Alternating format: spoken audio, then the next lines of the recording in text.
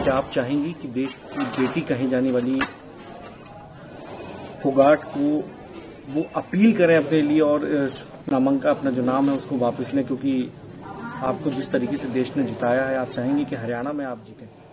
नहीं, बिल्कुल हम मेहनत कर रहे हैं। हम किसी से ऐसे अपील तो नहीं करेंगे। सबने मेहनत कर रखी सबका अपना अधिकार है लड़ने का। और हम अपनी मेहनत करेंगे। हम अपने लोगों से अपील करेंगे। और हम सबके बीच में जा रहे हैं।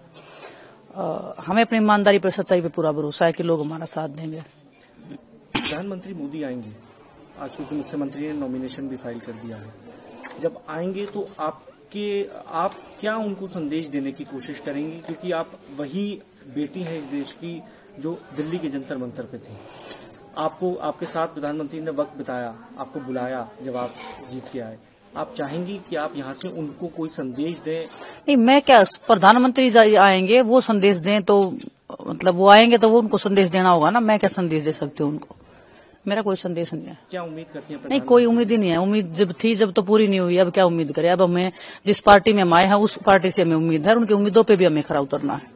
आप क्योंकि महिला है मैम हर बार ये होता है कि जो महिला उम्मीदवार होती है उस गाँव की महिलाओं की बेटियों की और राज्य की बेटियों को माओ को उम्मीद होती है कि आप कुछ कर दिखाएँगे। हम क्या ऐसा उम्मीद करें कि आपके आपने क्या विचार अपने सोचा है?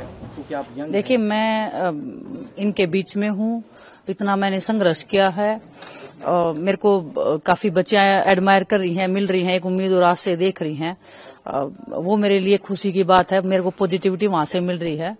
और काफ़ी चीज़ें हैं अपने लड़कियों के लिए करने के लिए। अभी आज मैं कॉलेज की लड़कियाँ थी खड़ी हुई थी जाने के लिए कॉलेज में, जब उनके इनसे मिली मैं।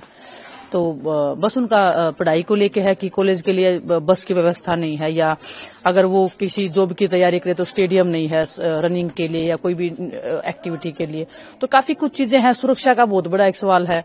क्योंकि हम तो इस चीज़ से निकल के आए हैं तो बहुत चीज़ें हैं जो हमें करनी है। और बिल्कुल हम सभी को आश्वासन देते हैं, सभी को आश्वस्त करते हैं कि जब कांग्रेस सरकार आएगी और तो उसमें उनको जो हमें फील हुआ या जो जिस चीज़ से हम गुजरे, हम उनको बस विश्वास दिला सकते हैं कि उस चीज़ से, उस दौर से आप कभी नहीं गुजरे।